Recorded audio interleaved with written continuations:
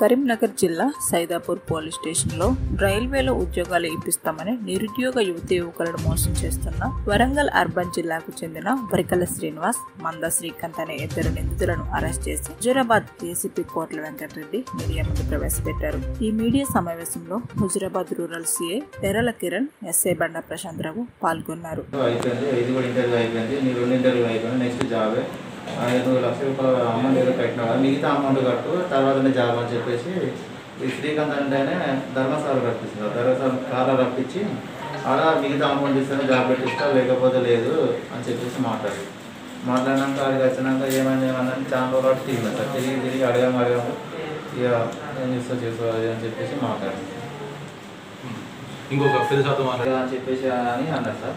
అన్నాక మరి ఏమైంది అన్నది అని చెప్తే శ్రీకాంత్ సార్తో తీసుకుపోయి మాట్లాడించాను తర్వాత ఇట్లా ఇచ్చినాక సార్ ఏమైంది అన్నాక నీకు ఈమెయిల్ ఐడి వస్తుంది అది ఇది అని చెప్పేసి నేను తర్వాత ఫోన్ చేస్తాం మిగతా అమౌంట్ కట్టని చెప్పేసి వేరే సార్తో దిలీప్ సార్తో మాట్లాడిచ్చేస్తాను అతను ఎవరు మాట్లాడారో నాకు తెలియదు సార్ నేను చూడలే. ఇట్లా నీకు ఒక నెల గడి వన్ మంత్ లోపు నీకు ఇంటర్వ్యూ ఉంటుందని ఖైరతాబాద్ స్టేషన్ తీసుకొని తీసుకొని పోయి ఒక బెంచ్ మీద కూర్చొని పెట్టి నా సర్టిఫికేట్ తీసుకొని పోయి బయటకు పోయి బయటకు సార్ చూపెట్టు తీసుకొని పోయి చూపెడతా అని చెప్పి తీసుకొని వచ్చిండు. అది నీ ఇంటర్వ్యూ అయిపోయింది వెళ్ళిపో అని చెప్పేసి. మళ్ళా ఒక వన్ మంత్ తర్వాత నీకు ఇంకో ఇంటర్వ్యూ ఉన్నది. అదైతే నీకు జాబ్ వస్తుందని మహబాద్ తీసుకెళ్ళిపోయాడు. మహబాద్ తీసుకెళ్ళి అలా టికెట్ కొట్టుకుని అక్కడ ఆయన ఉంటాడు కదా. అక్కడ పోయి ట్రైన్ వరంగల్ ట్రైన్ ఎప్పుడు ఉన్నాయని చెప్పమని చెప్పాను అనుకుంటే నమస్తే పెట్టి ఇట్లా చూడతారే నీ ఇంటర్వ్యూ అయిపోయిందని మళ్ళీ తీసుకొని వచ్చాను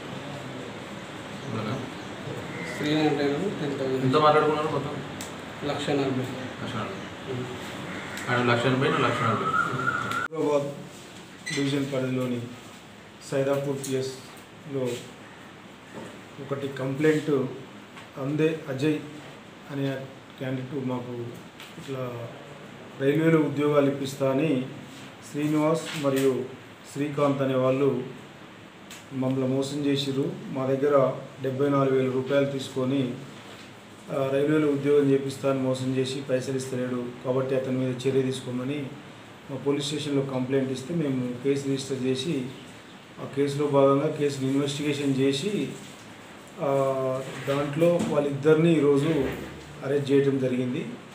అరెస్ట్ చేసిన తర్వాత వాళ్ళను మీరు ఎట్లా అయింది అని విచారించగా వాళ్ళు శ్రీకాంత్ శ్రీనివాస్ అనేట ఆయన వాళ్ళ ఊర్లో వాళ్ళ విలేజ్లో వాళ్ళ ఫ్యామిలీకి నేను రైల్వేలో ఉద్యోగం చేస్తున్నా అని నమ్మించి ఆ ఉద్యోగం లేకుండా డైలీ హన్మకొండ పోయి ఫోటోగ్రాఫర్గా పనిచేస్తున్నాడు. ఆ ఫోటోగ్రాఫర్గా పనిచేస్తుంటే డబ్బులు చాలక ఈ విధంగా ఇదైతే ఈజీ మార్గం అని పబ్లిక్ మోసం చేయటం వీళ్ళ దగ్గర పైసలు తీసుకొని ఉద్యోగం పెట్టిస్తా అని పైసలు తీసుకున్న తర్వాత ఉద్యోగం పెట్టేయకపోతే మళ్ళీ ప్రాబ్లం అవుతుందని వాళ్ళకి ఇంటర్వ్యూ ఉందని డోర్నకల్లు తర్వాత మౌలాలి సికింద్రాబాదు కాజీపేట్ల పలానా దగ్గర మీరు కూర్చోండి మీ ముందర నుంచి రైలు పోతుంది.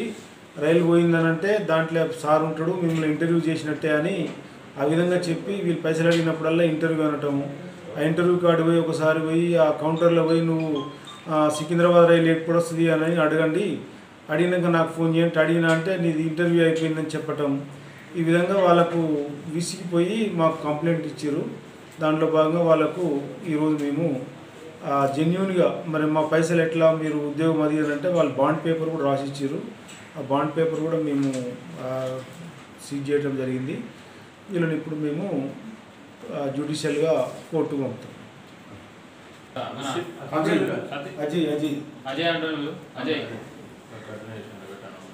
కానీ ఏ విధంగా మోసపోయినా కానీ మా డివిజన్లో హుజూరాబాద్ డివిజన్లో ఎలాంటి బాధితులు ఉన్నా కానీ పోలీస్ స్టేషన్కి వచ్చి కంప్లైంట్ ఇస్తే వాళ్ళకి మేము తగిన న్యాయం చేస్తాం.